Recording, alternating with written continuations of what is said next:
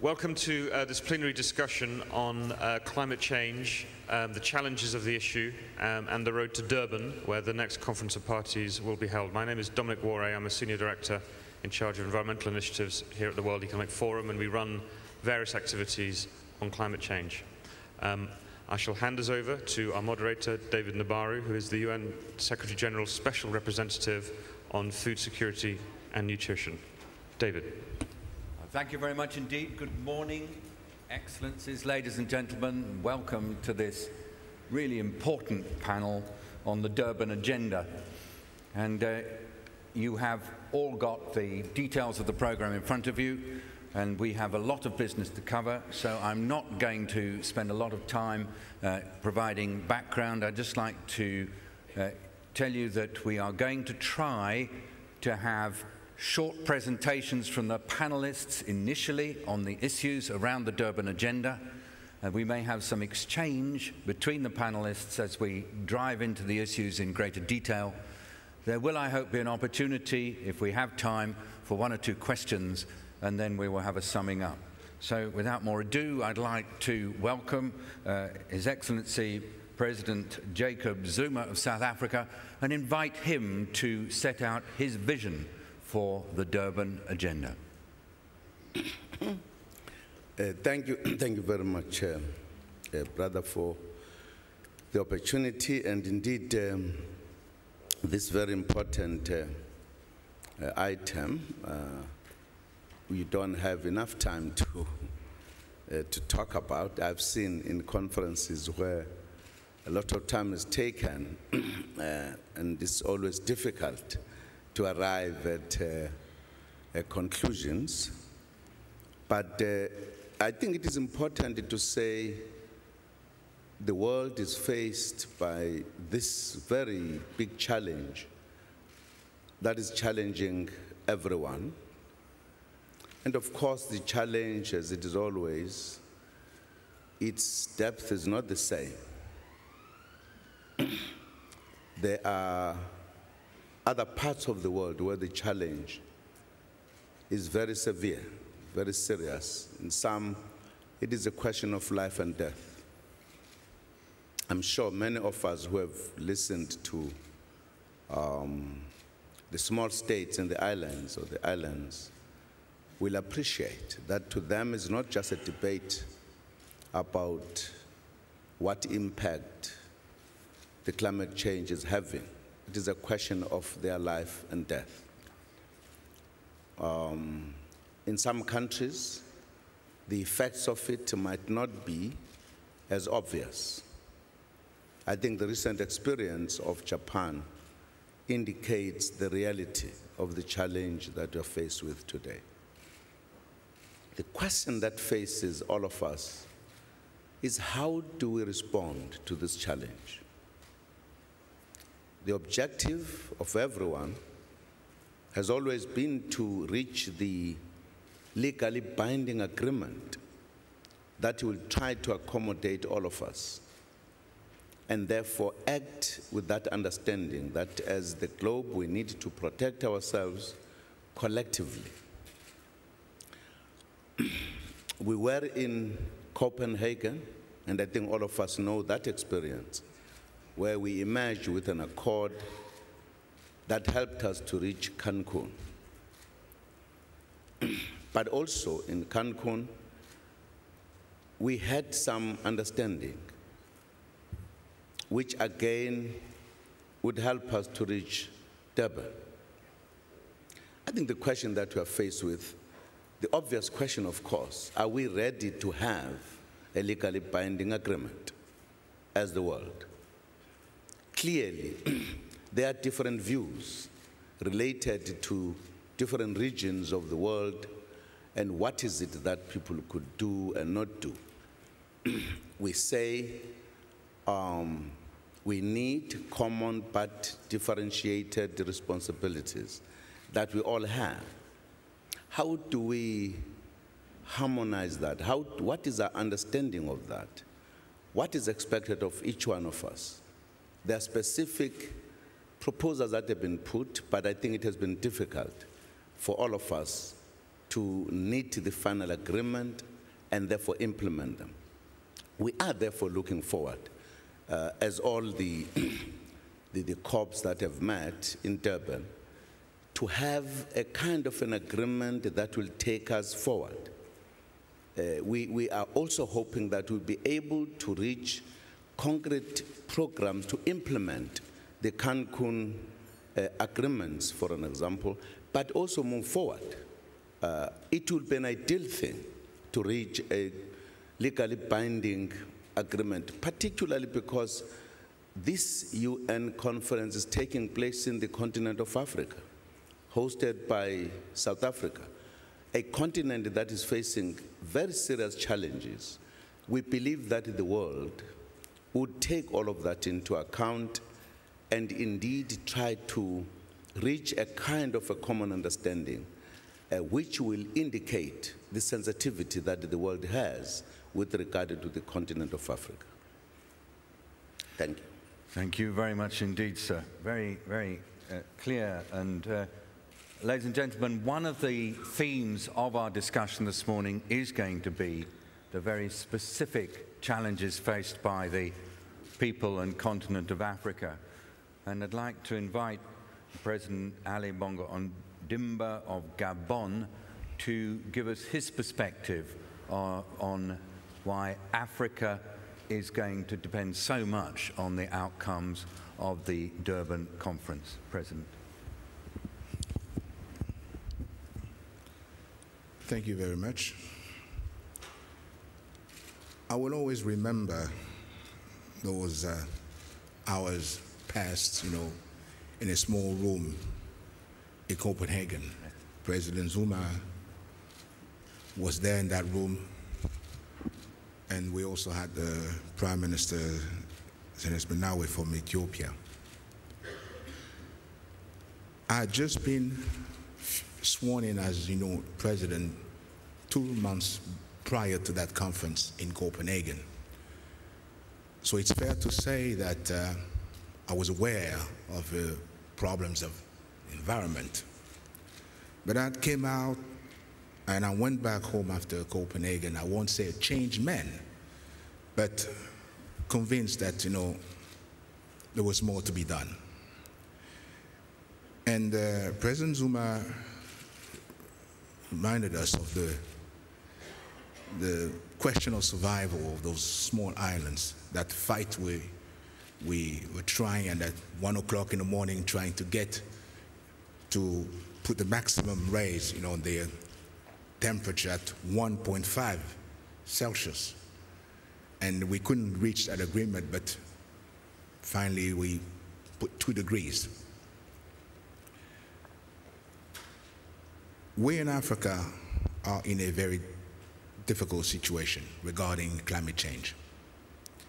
And we are about those, you know, that are going to be suffering most if nothing is done. We chose to speak with one voice. And we will, we will be united again in Durban. It's critical for us because we have to face two major problems, you know. First, how to fight climate change. And obviously today, one of the tools will be the technology. Transfer technology is key, is vital. Secondly, how to finance those programs of, you know, adaptation and mitigation. So the financial aspect is also very important. That was addressed in Copenhagen. And uh, the special fund, $10 billion for three years leading up to 2020 where we would have $100 billion. But the, the question is that for, for us as leaders, how committed are we to really take upon us to be a little less selfish and to think of, you know, the community as a whole. For me, it is a matter of determination. How committed are we? Really are. And uh, it is important for us to realize that this is serious matter. That is, there's no way around it. Whether we work together or we will not succeed. One cannot succeed over the other. And that's very important for us. So we, we will be determined to speak one voice because it's also important for us, as you know, Africans to get together. But it is also important for us to really also get on board the business community. Because as I said, you know, uh, the financial part is critical. And governments alone will not be able to, to bear the whole burden. So we have to bring the business community on board, you know, make, uh, make it, you know, environment a profitable business. And the business community, leaders, all together will, we will be able to find, you know, a solution to these problems. Thank you very much indeed, Your Excellency. Sheila Sisulu works as the Deputy Executive Director of the World Food Programme. And Sheila, you in your work see how people are affected by shocks of different kinds. How important is climate change for the people of Africa with whom you are working day to day? Um, thanks, David. Um, I think I'd, I'd, just like to start by, by saying that South Africa has, a, has a, an organizing principle for its development and that government applies, which is called Batho People First. And I think South Africa should lead uh, in Durban with that principle of putting people first in all the discussions about climate change. And, and just to give you a flavor of what I'm talking about, just last year, 2010, 200 million people were affected by climate related disasters. 200 million at the cost of 400 billion. And 80% of those people did not have any social safety net, did not have any protection, uh, any fallback, either by government uh, or themselves. So this is not what will happen. It has happened, it is happening now. And therefore, the social dimensions of climate change on people affecting hunger, they get hungry in that process because the, they cannot grow food, the agriculture uh, is not uh, uh, responding the way they, they've known for, for centuries how it works. And, and it affects their health, it affects their livelihoods. The other, of course, dimension, being the only woman on the panel, I have to say, is the gender, the impact of climate change on women and children. Uh, I'm, I'm, sure my leaders here and my brothers would probably mention women in passing, but I want to stick to that point that we have to look at, at that, that, that issue as we look at, at these social, social uh, dimensions of, of, of, climate change. And the point is to act now. It, it's not to act after Durban, to act after an agreement has been reached, because, as President Zuma has said, in many instances, it's already a matter of life and death. And when it's a choice between life and death, people do choose life, by the way, and they will use any means possible to survive. And already we can see conflicts happening when uh, pastoralists move with their livestock to look literally for greener pastures.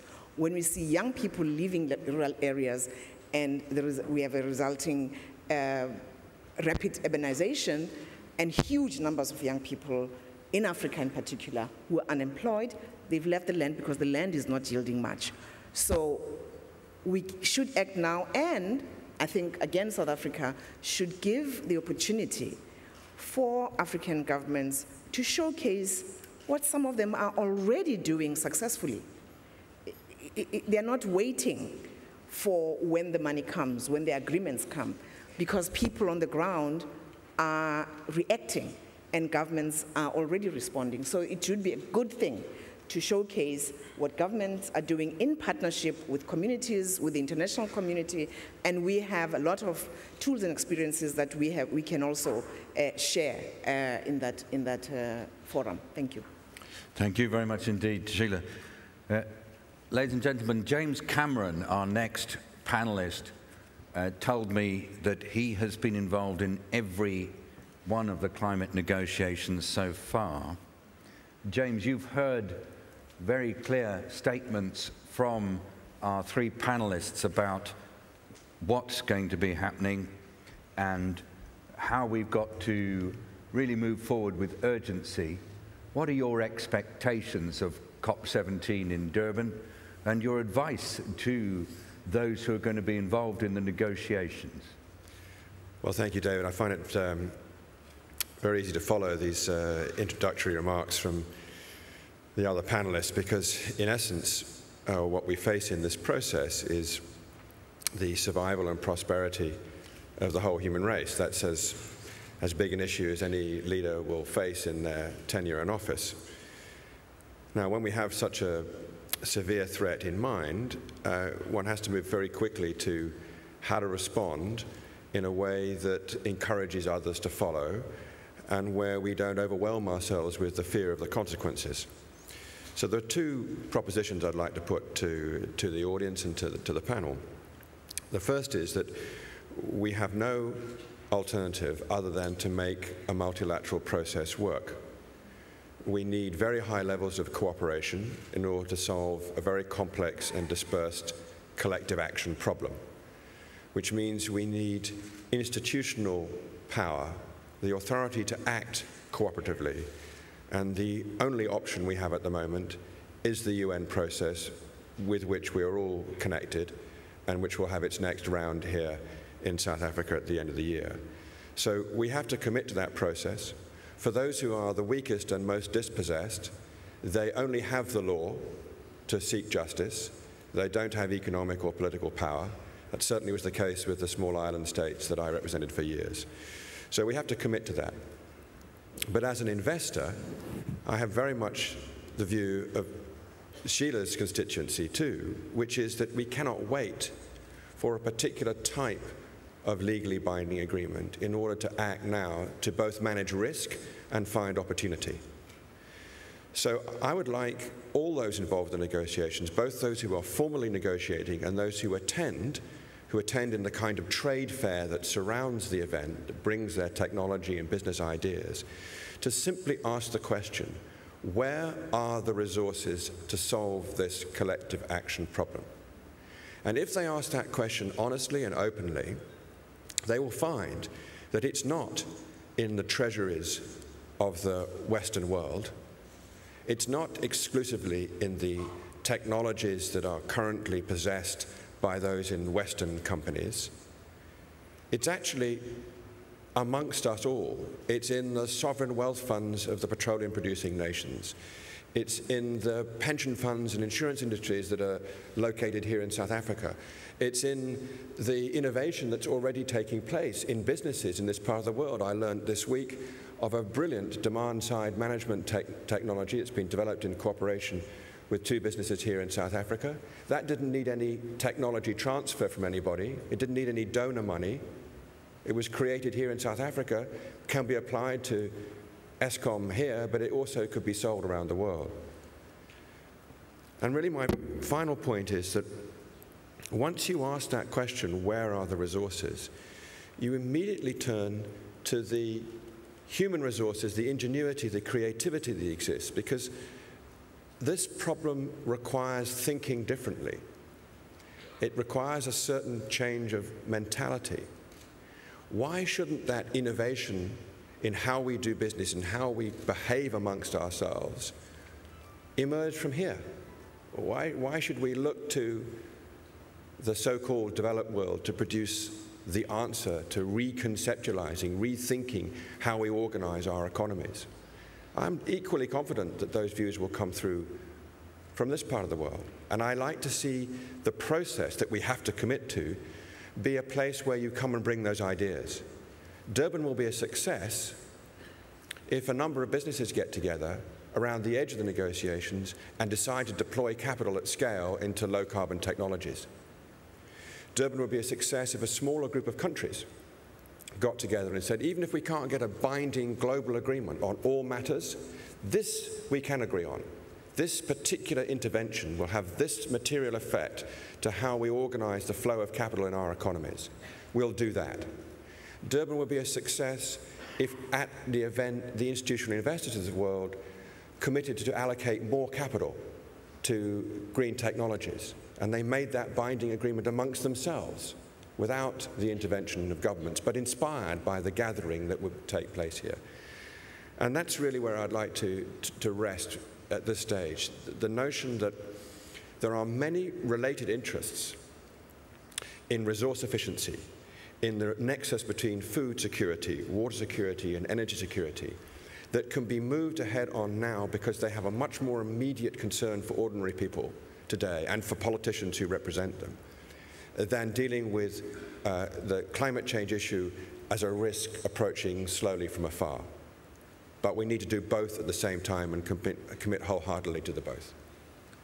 James, thank you very much indeed. The issue is here and now. There is a vital political process underway, but there are also actions that can and should be taken now using indigenous resources Pat Davies is chief executive of a major South African company working in the energy sphere and also doing a number of other very important uh, industrial related uh, products. Pat, would you like to give your, in a way, your position on what might be happening in relation to the Durban process, but also to address some of the points raised by James Cameron? Thank you, David. Um, I must say I'm feeling a little lonely here as the sole current businessman, and uh, I must hasten to add that I speak as a businessman. I would hardly claim to represent all of business on the African continent. But I do have a couple of comments to make on, on what is, I agree, as other speakers have said, a, a very serious challenge. And I think business generally takes this as a very serious challenge. The first point is to pick up on other speakers is this has to be a team approach. We have to have government, business, civil society, and communities all working together. Much in the way we did last year in this country, on this continent, with a very successful hosting of the Football World Cup. We need this Team Africa approach to make all of this a success, I believe. Our government in this country, um, we're delighted to see, has been very open and very engaging of business. And I think business, through its various fora, is responding appropriately.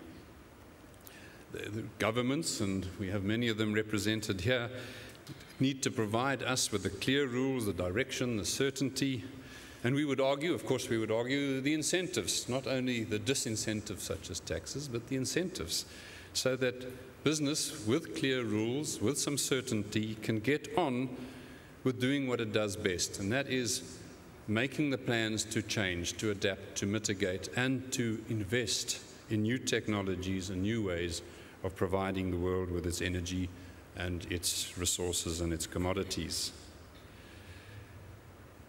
That's generally how it happens, I think. Governments must de define the policy, the implementation thereof is generally left to business to get on with.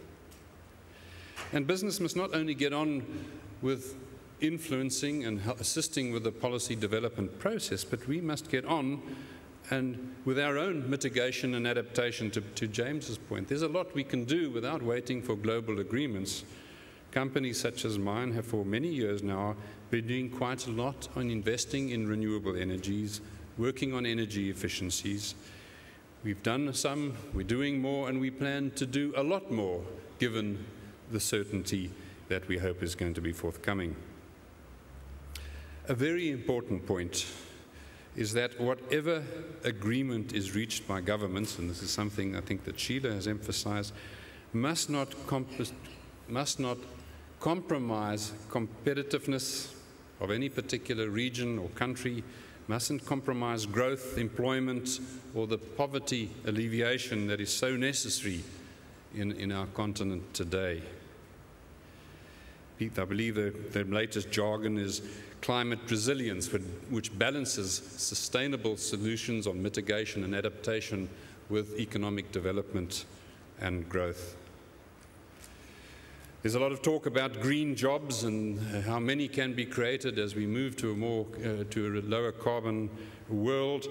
Um, not all of us are as convinced that so many green jobs are going to be forthcoming as quickly as some people seem to anticipate. So it's important. Traditional industries, many of those are based in South Africa, also do their bit. In this regard as well, in, in our particular country, is something of an, an outlier. We are a very carbon intensive economy.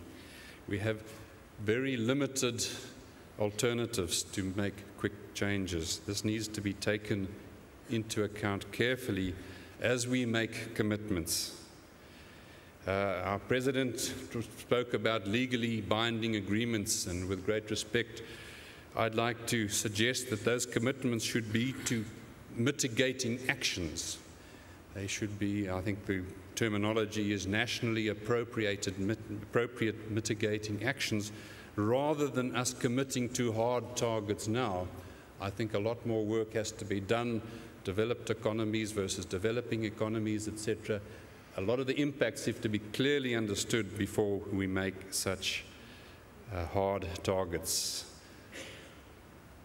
I think furthermore, the African bloc is, uh, should, and this has been mentioned, resist, for, resist any pressure to forego the conditions agreed upon in Copenhagen. Africa needs, despite what we can do ourselves, we still need technology transfer, we need funding, and we need capacity building. So we should hold on to that conditionality, in my opinion.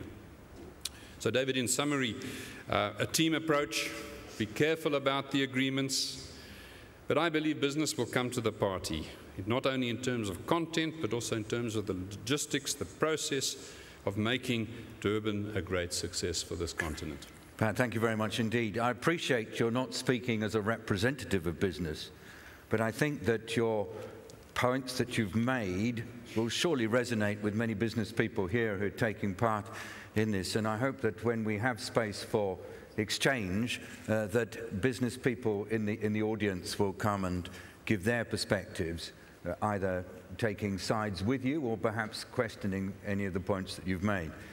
And I'd really like to, to say how pleased I am that we have here in our panel uh, a minister from the government of India, uh, Anand Sharma. And while uh, Pat was talking, Mr. Sharma, I saw your head nodding a bit. Uh, some points of agreement, particularly when he mentioned nationally appropriate and not hard targets. I wonder if you could give us your perspective and perhaps also the government of India's perspective on what ought to be happening during COP17 uh, in Durban, South Africa later this year.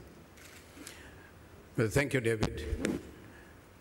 I was listening carefully to President Zuma, the president of Gabon, our sister Sisulu, and the representatives of the industry, Pat and Rivers.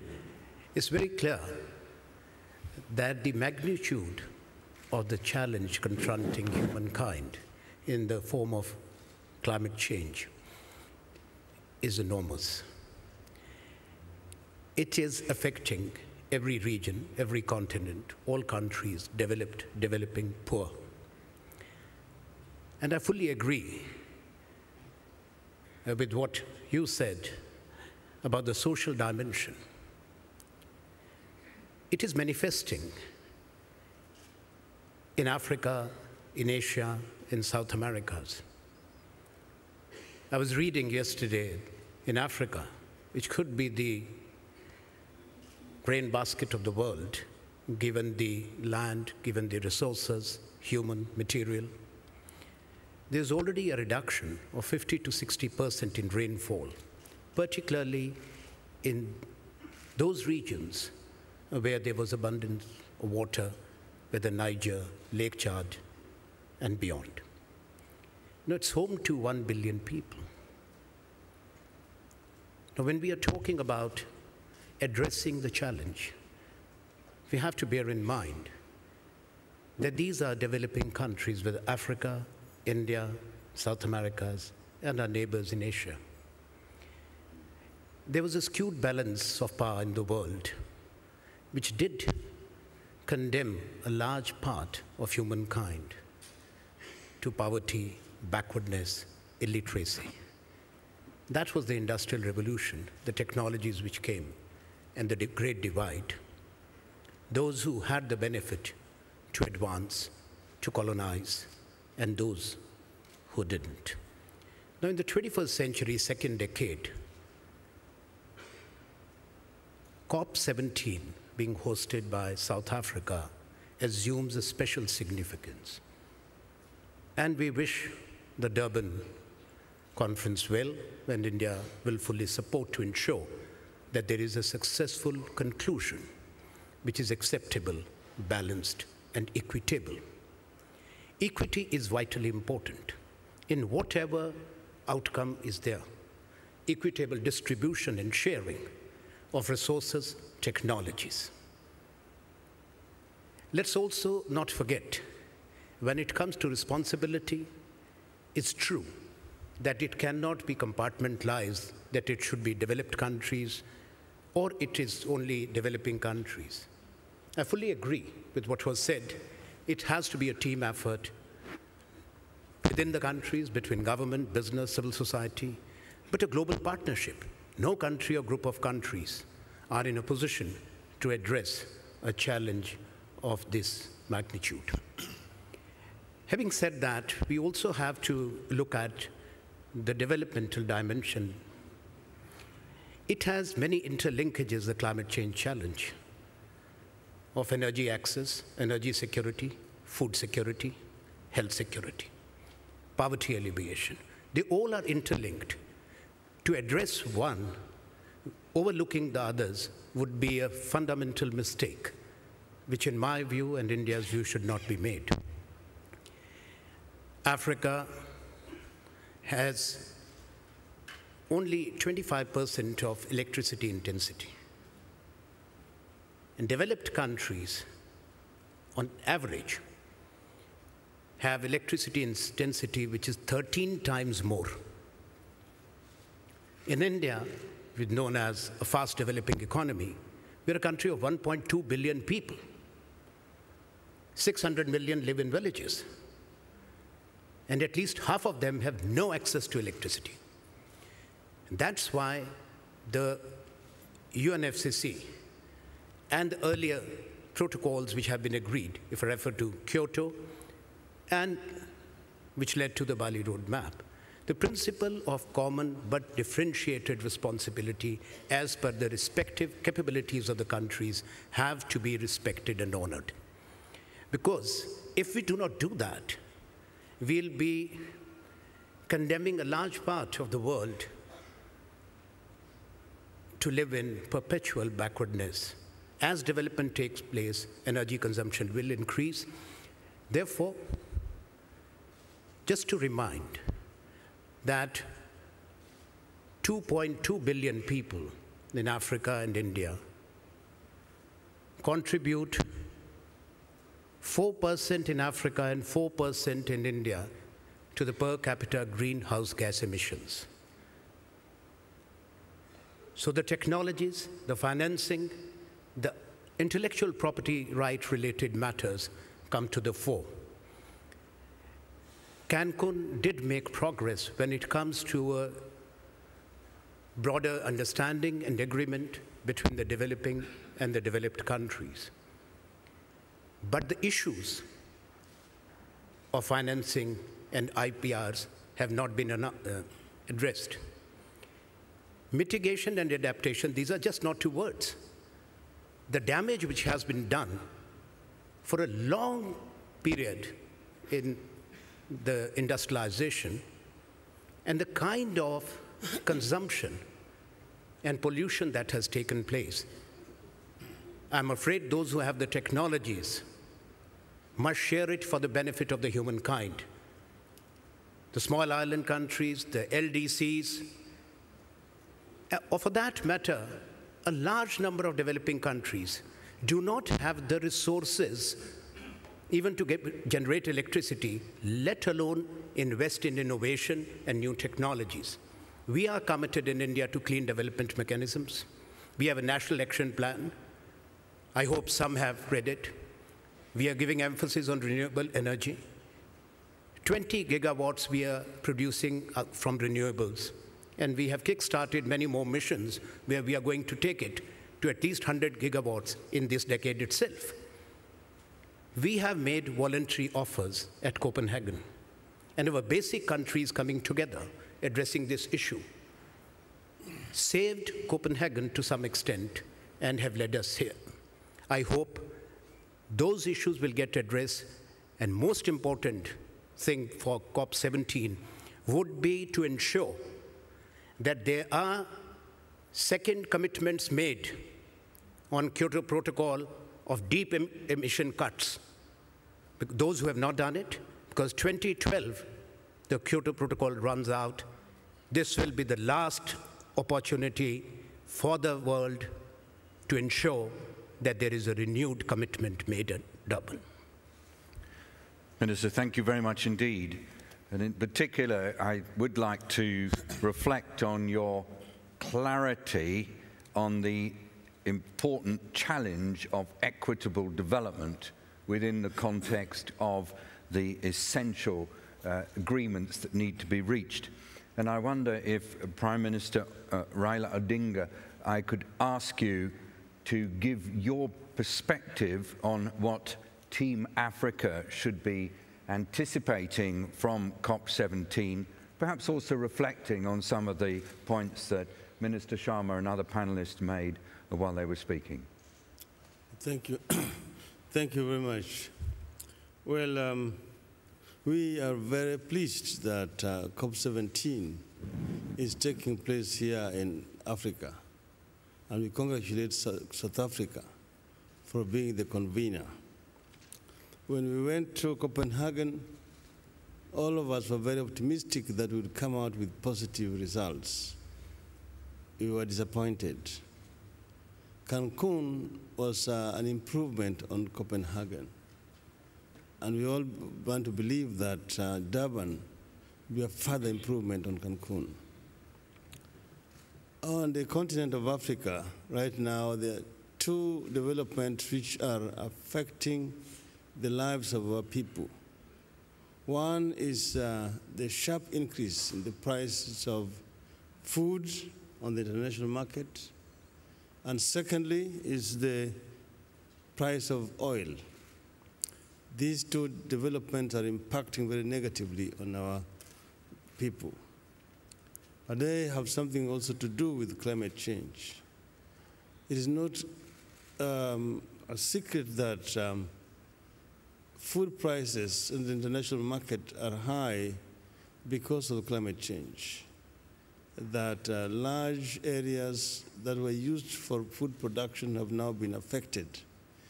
In Kenya, we live between two twin disasters of El Nino and his twin sister, La Nina. So once El Nino has come with devastating floods, in its wake it invites his sister to move in and comes with severe drought that affects the food production. The increase in demand for oil, particularly by the emerging um, uh, developing economies, itself is responsible for the rise in the, the price of oil. But this demand also means uh, emission, more emissions of greenhouse gases in the uh, environment. So therefore, need to act now. And our view here is that um, we don't need to wait in Africa. That uh, time to act now, even with the limited resources at our disposal. And um, we, for example, in Kenya have already begun this. Uh, for example, at independence, we had a forest cover of 12%. That is now less than 2%. So we began a very massive um, program of afforestation, uh, aiming to increase the forest cover to, by, to 10% by the year 2030. We are also, for example, uh, trying to rehabilitate a lake that used to be very lively and teeming with life, which has also been severely affected, Lake Naivasha. And we are um, regenerating that. But then, uh, the Africa cannot do this alone. In Copenhagen, there was the 30 billion dollars that was uh, pledged. This again was confirmed in, Copen- in Cancun, and it was supposed to be 30 billion dollars to be dispersed by 20, the end of 2012. And from then on, it was supposed to be increased to 100 billion dollars, going upward to 2020. Up to now, not much of this money has been seen. Um, we uh, are suffering from what you call a vicious cycle. Um, African countries are saying we cannot sing this money. The developed economies are saying that there are no bankable projects that are available to be funded. That really was the reason why we started what is called Paris Nairobi Initiative. This is an initiative between the French government and the Kenya government, but which has now brought in all other African countries. Uh, it's a cooperation on green energy. Clean energy. We had a conference um, last month in Paris, attended by over 30 uh, African ministers. And um, this is aimed at tapping the resources that are available on the continent geothermal,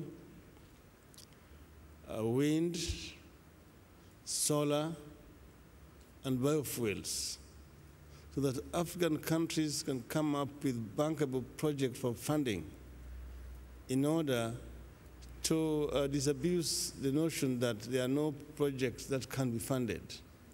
Already a secretariat has been established in Nairobi uh, for this purpose and to coordinate the effort on Africa.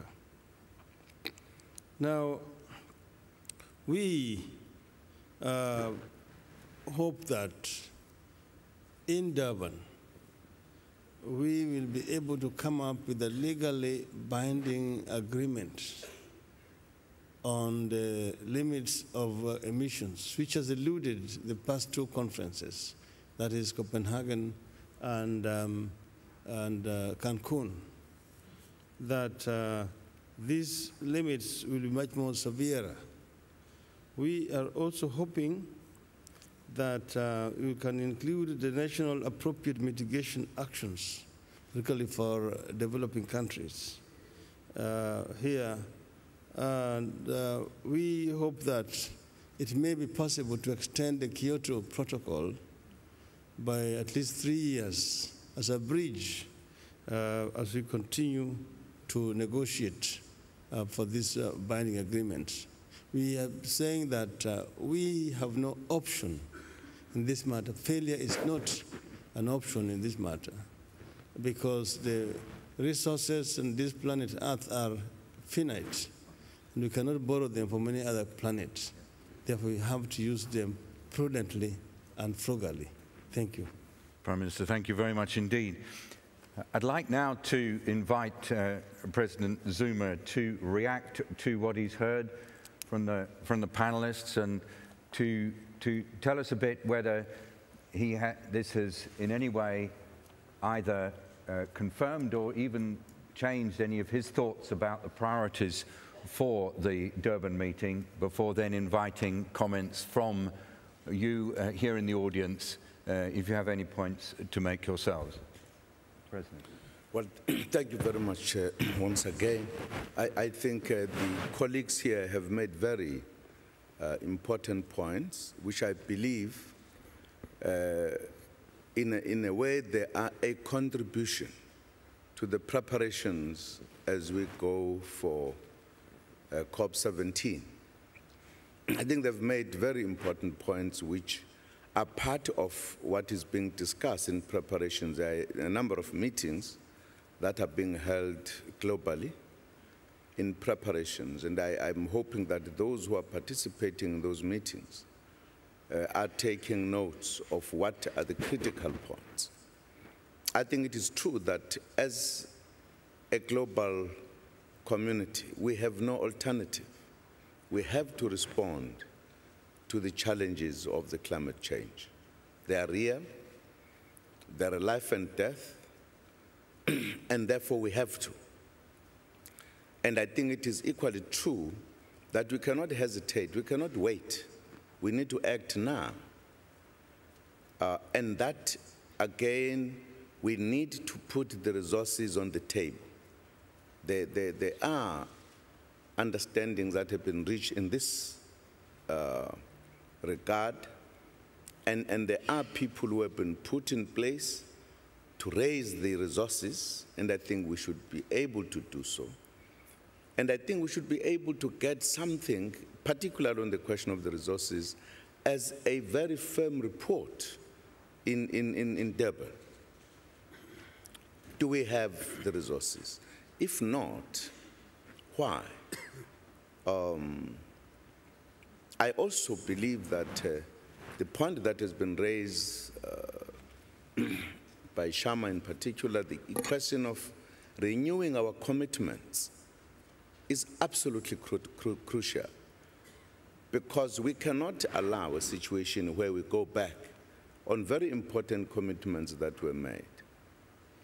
I think what we need to perhaps become frank about is, is, is where are the problems?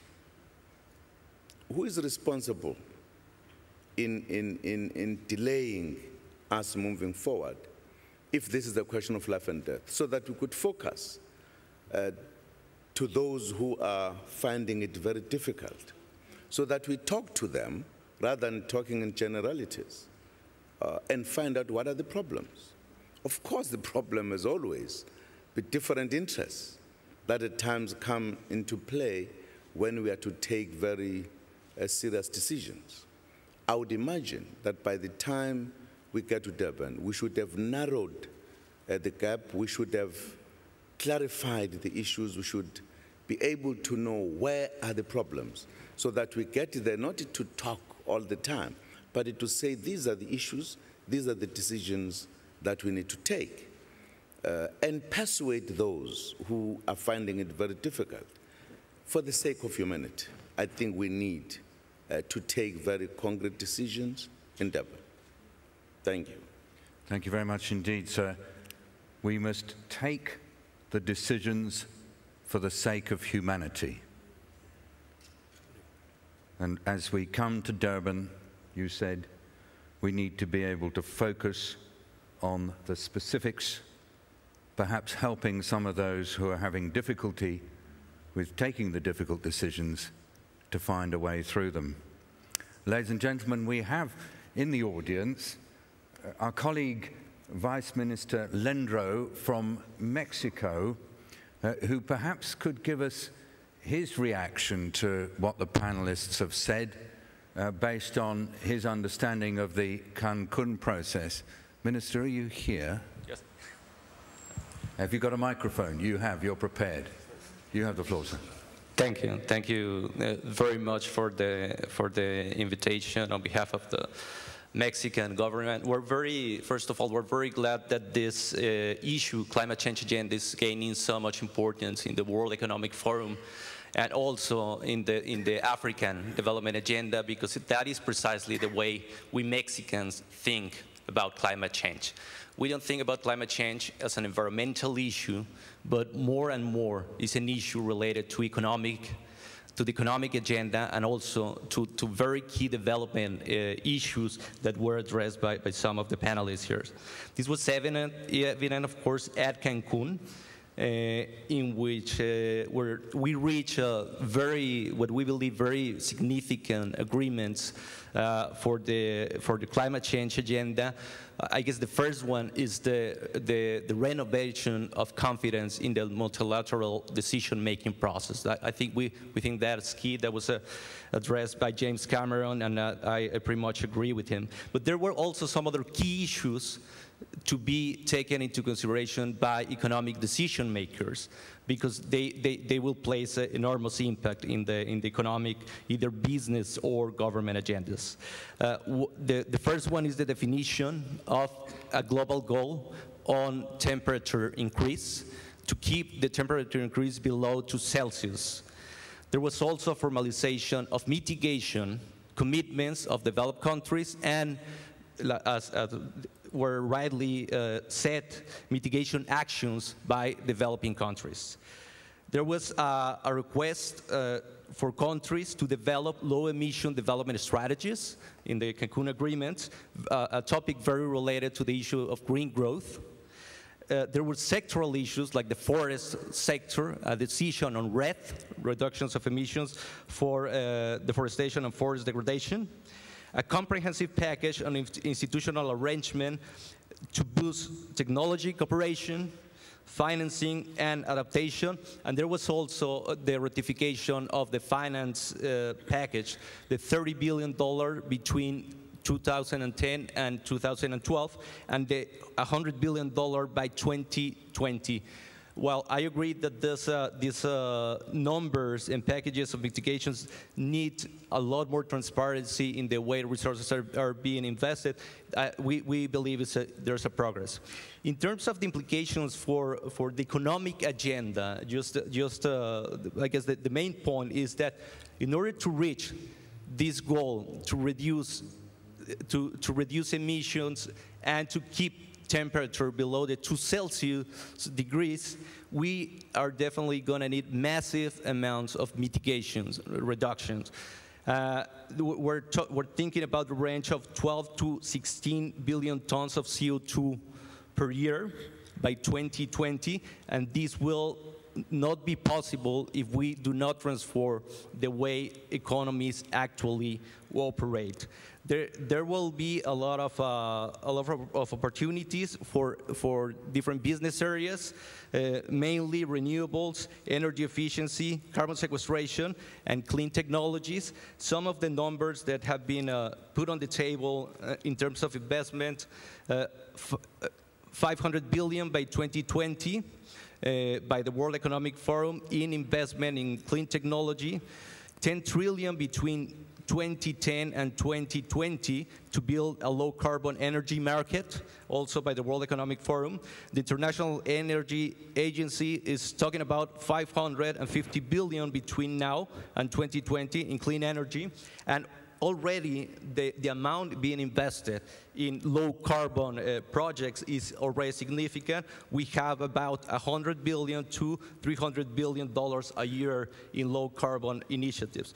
So I guess the, the main point, this issue uh, has no way back, is going to be in the economic agenda from now on we, we believe that uh, we as the international community, we should take this into consideration, and uh, we wish South Africa uh, a very successful COP17. We will uh, ratify our support to South Africa. Thank you.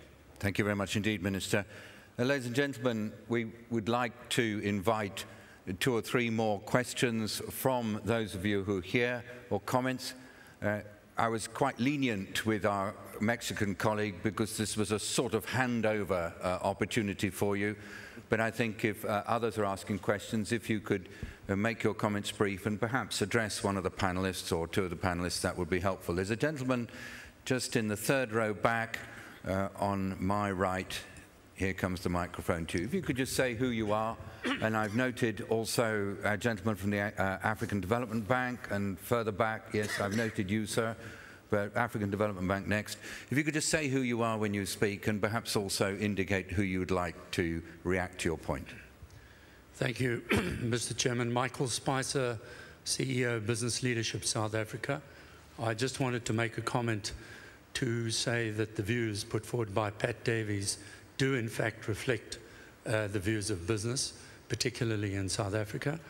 Uh, we appreciate his perspective, particularly the cautionary notes which were put forward.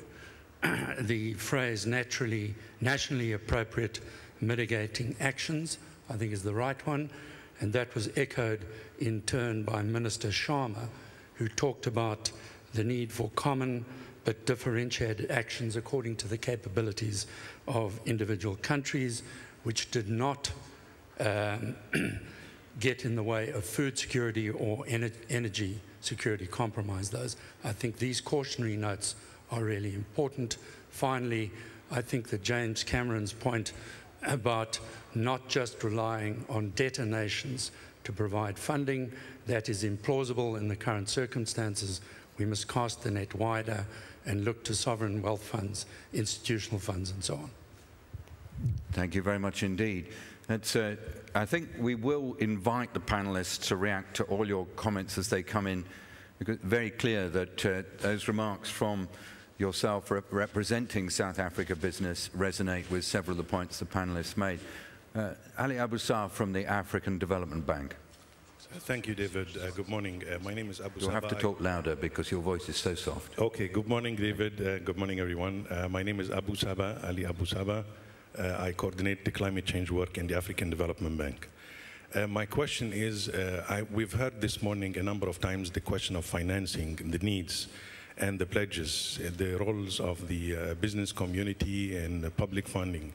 Uh, so the question that I have, how can institutions such as the African Development Bank uh, uh, be of help in actually implementing some of these agreements and working with the African countries given the very long experience in development that we've had on the continent? Thank you. Thank you very much indeed. Now, a third question, further back and uh, on my left. Thank you. And then coming to the middle, uh, also further back. So you have the floor. Thank you, David. I'm Jeff Lipman from the UN World Tourism Organization, and I'm also the vice chair of the Aviation and Travel and Tourism Council of the World Economic Forum. And I have a comment and a question to James Cameron.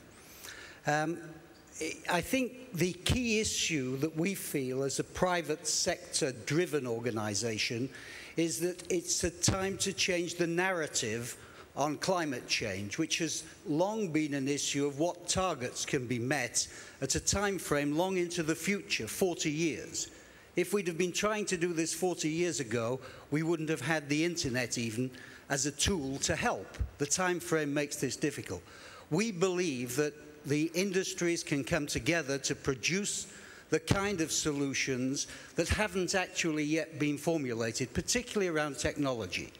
And we think that travel and tourism is one of those sectors which the African continent, every country has as an export in the services sector. So we want to commit to come to Durban and to help in that process. And I would like James to say a little bit about the work that we've been doing in our councils to try to make this happen. Thank you.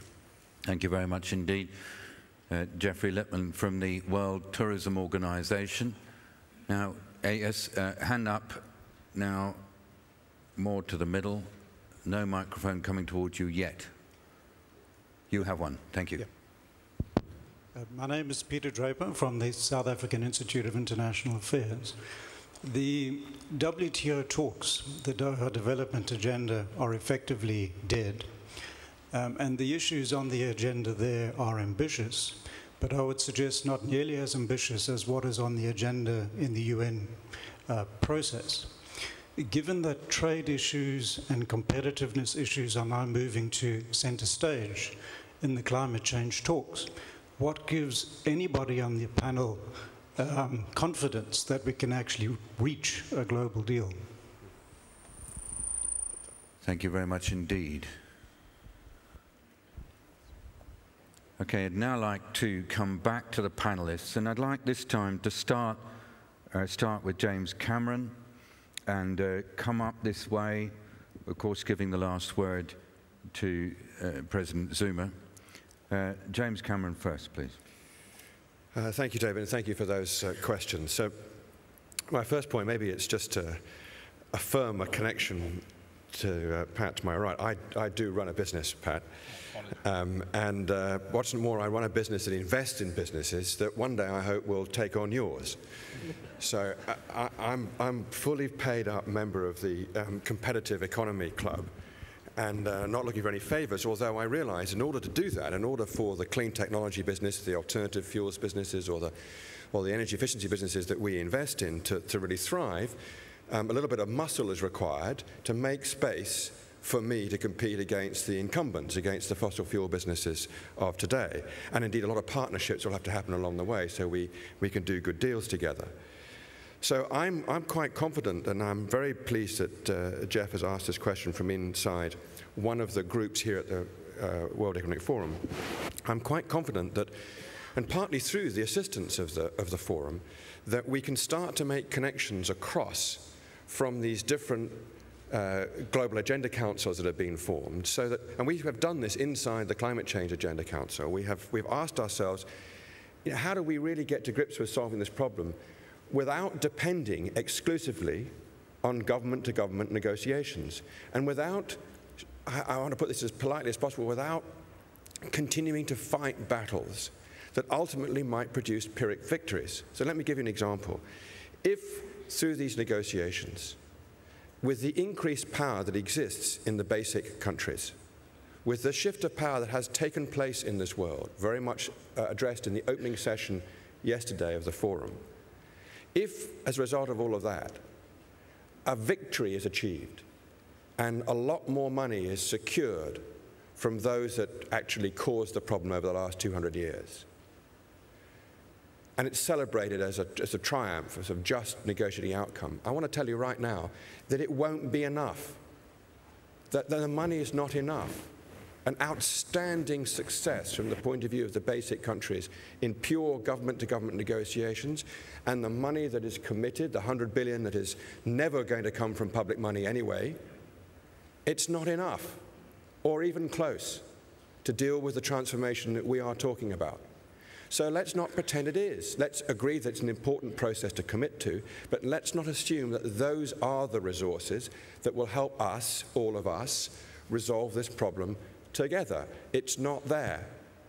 So let's not waste our efforts trying to pretend it is.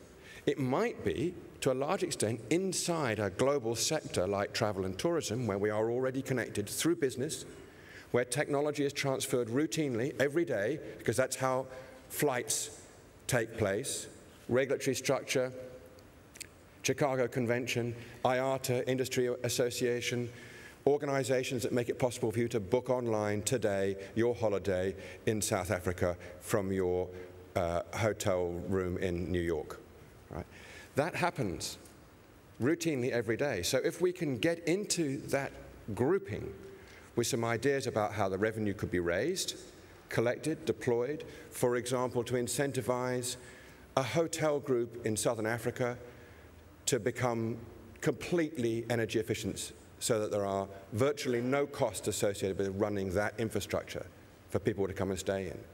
These are all perfectly possible strategies to deliver outcomes that matter to people's lives, none of which are dependent upon the outcome at the end of the year in Durban, but all of which would be assisted by a good outcome, by a good, good positive atmosphere, by good leadership from political figures.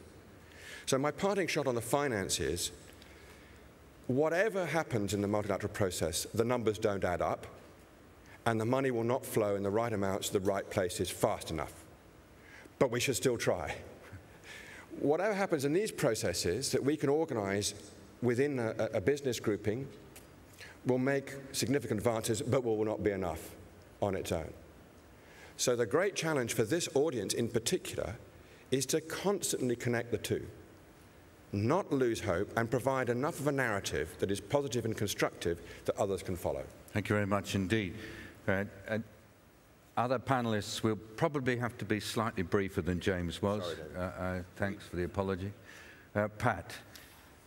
Thank you. To, to, respond to James, very happy to take you on in the competition. Uh, you'll find that more and more fossil fossil-based companies like ours producing alternative fuels uh, are investing more and more, as I said, in renewable energy. So we'll meet in that space as well.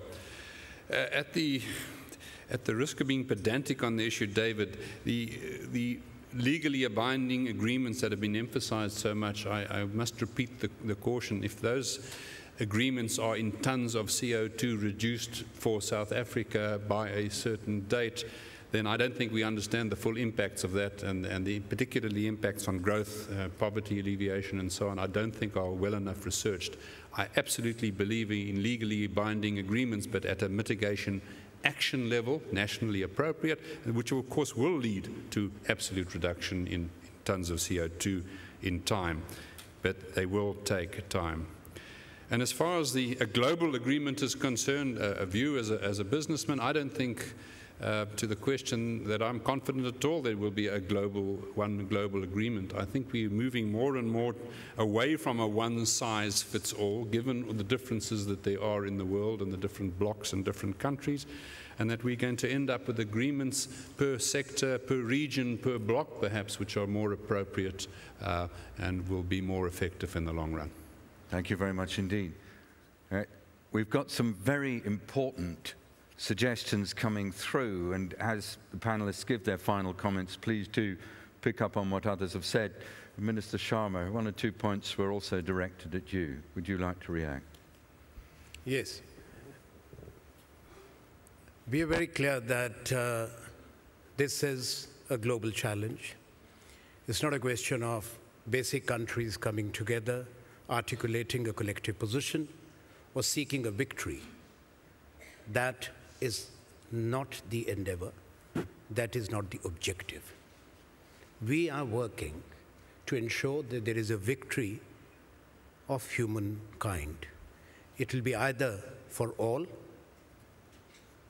a solution, or a disaster for all. Because the planet Earth is interconnected, even oceans don't divide. So where uh, economic or climate disaster takes place, which leads to multiple effects, it will eventually impact every region.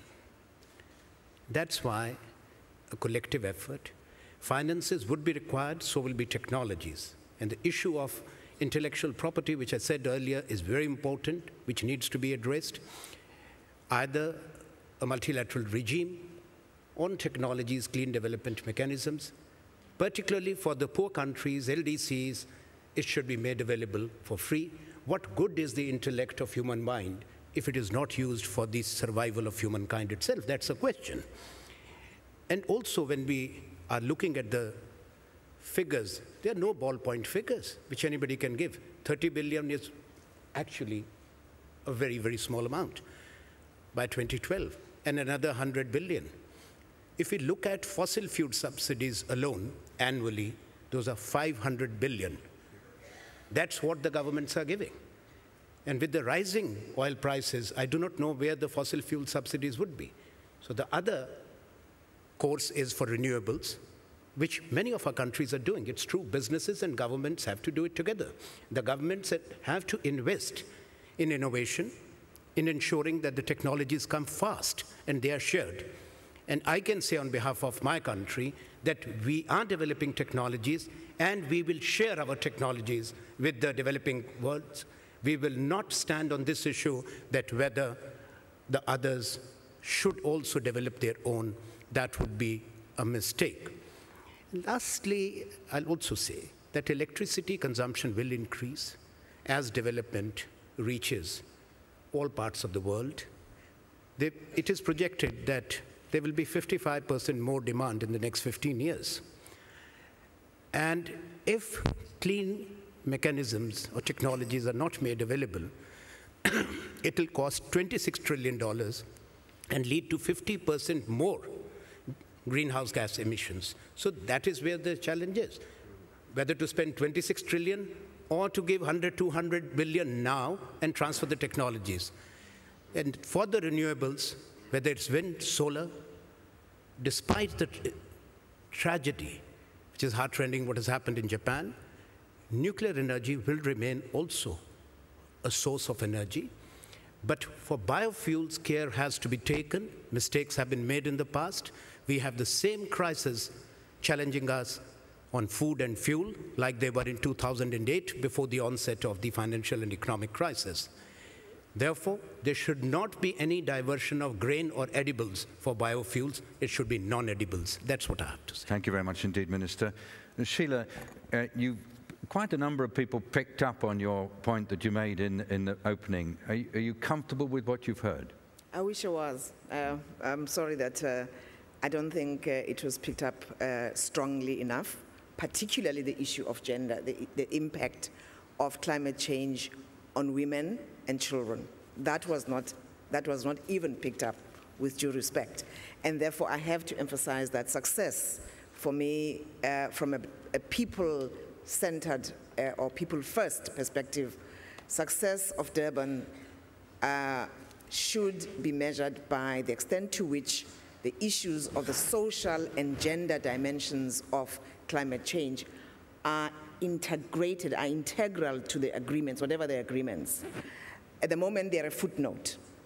Food and nutrition security, um, the capacity of people to feed themselves through agriculture development, these are footnotes. And that would not be a good outcome, especially in COP17, led by South Africa and being, or hosted by South Africa and Team Africa. If Team Africa fails to fight for the inclusion of people in the text of this agenda, then it would um, be more than unfortunate. So I hope that uh, we would have that people first. Sheila, thank you very much indeed. Uh, President Ondimba, you've listened. I saw you times nodding, times perhaps not so sure. What are your last minute of thoughts before we close the panel? What are we primarily trying to achieve? The well-being of our people. And now, the well-being of our people is being affected by climate change. So, for us now, especially in Africa, the time is now for action, not just words. We know what we have to do. It's not just about, you know, economic growth rate. All of us, you know, are really looking to great performance when it comes to great, you know, economic rate, you know, so, but beyond that, especially in Africa,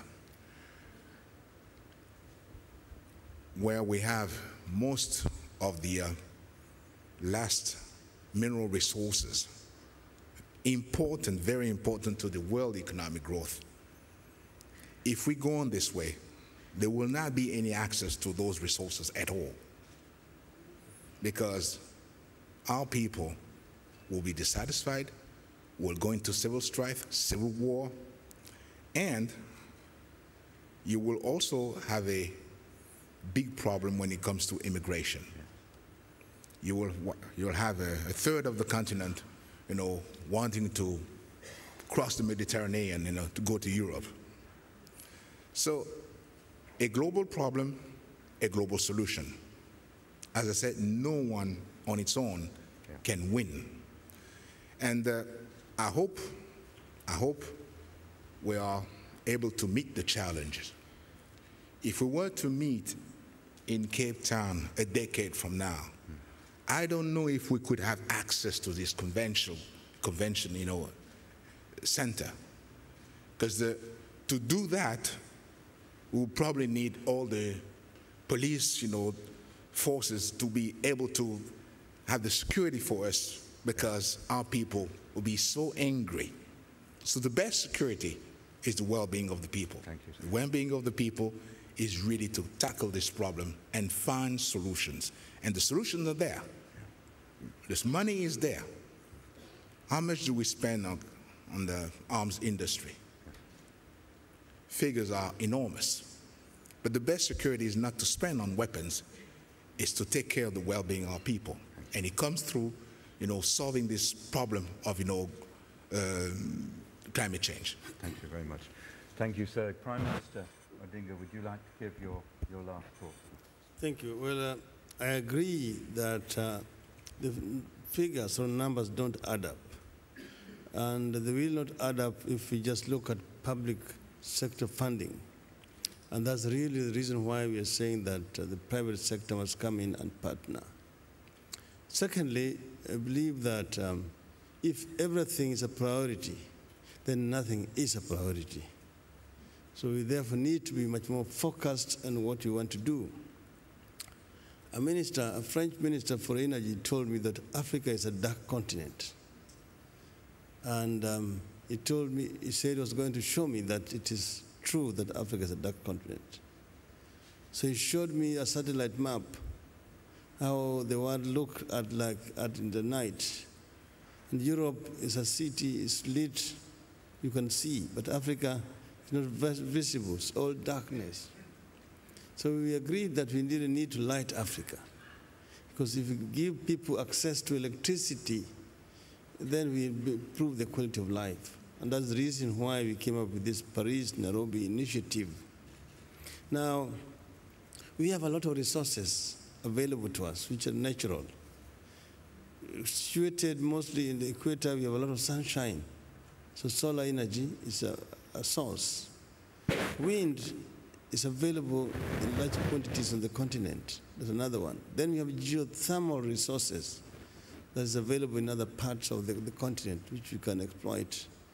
And then, of course, the, the biofuels. So he said, let us look at this and use this to be able to provide clean energy for the continent of Africa. And this is something that we want to use and prepare as we come to Durban. So, so nuclear will could always remain controversial, Fukushima or no Fukushima.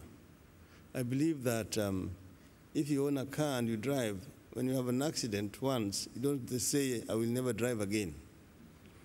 Now, um, Africa must be able to increase its leverage in the climate change negotiations. Uh, we need to influence the G77 plus China, and also we must engage with G8 and G20 in these uh, negotiations. South Africa will be spearheading these negotiations on behalf of the, the continent. They are actually our flag bearers. But we know that they are equal to the task, having very successfully hosted the World Cup here last year. President Zuma did invite us here, and he told us that this is your cup. It's an African cup. South Africa is just a theater or a scene. And they did us proud. We want South Africa to be there. We will give them full support so that the African voice can be heard loud and clear at Durban conference. Thank, Thank you, you very much indeed, sir. And to President, last word from you, sir. Thank you very much. Uh, thank you very much, Prime Minister. That's our understanding that South Africa is hosting this on behalf of the continent, and therefore we are definitely together uh, as, as the African continent. I, I want to uh, respond to my good sister here that the issue is taken to heart. Uh, we will certainly ensure that uh, the question of Batho Pele, people first, uh, will be prominent, as well as the question of uh, gender, the women and children.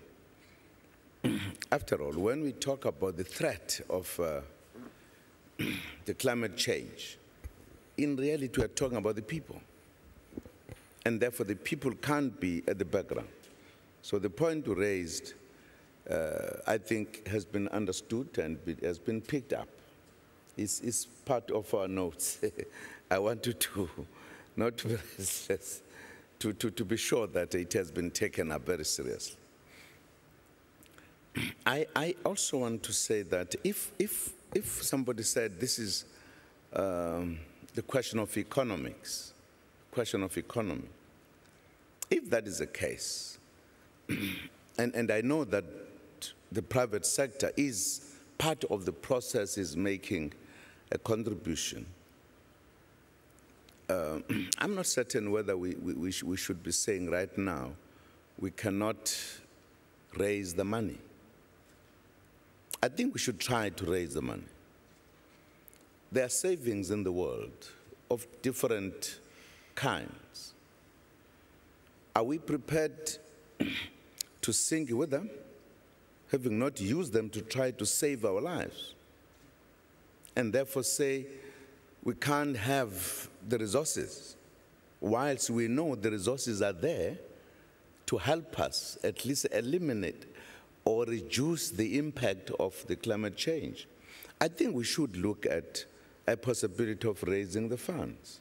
I think we need just to agree that we do need the funds. Um, it is just like the question of common but differentiated responsibilities. It doesn't mean that we are going to have, uh, if we're to reach our ultimate, the legally binding agreement, we'll have to apply it equally in the same way. We are different. That's what it says. The common thing is that we are all being threatened by this, but we have to react and act and contribute in, in different levels, different sizes. I think that's what it means. It doesn't mean you need a one size fits all. It means you need an agreement that will take into account that all of us have different capacities, different contributions. Some of us would have no contribution to make, need to be assisted. I think the philosophy understands that. When, when we say, let us have an agreement that will take all of that into consideration. I'm just hoping that uh, when we get to Durban, we would be in a position to really identify the issues, not have every other issue to talk about. There are other issues that there has been consensus, there has been common understanding and commitments. There may be issues that we have not necessarily agreed. What are these issues? I would be happier if our agenda in Durban is very clear. Where do we differ? How do we close the gaps? Where could we agree? So that we don't come to Durban and meet and just make speeches as we always do and go away saying, look, we could not make it. We need to say, these are the issues, these are the priorities, these are the issues we cannot go away without agreeing. And those who will be empowered by their people to come to the conference must have mandates that on this issue, we have got to come back with an agreement. I think that's what we must aim for. That's what we are looking forward to. That is why we are saying we need to succeed in the Durban uh, conference. We can't fail. Otherwise, we'll be failing ourselves. I, I just hope psychologically, all of us, could actually be at one. That in Durban is an opportunity offered to us that we must not lose. Thank you very much. Ladies and gentlemen, thank you very much indeed for being with us. Could you please give a hand to all the panelists?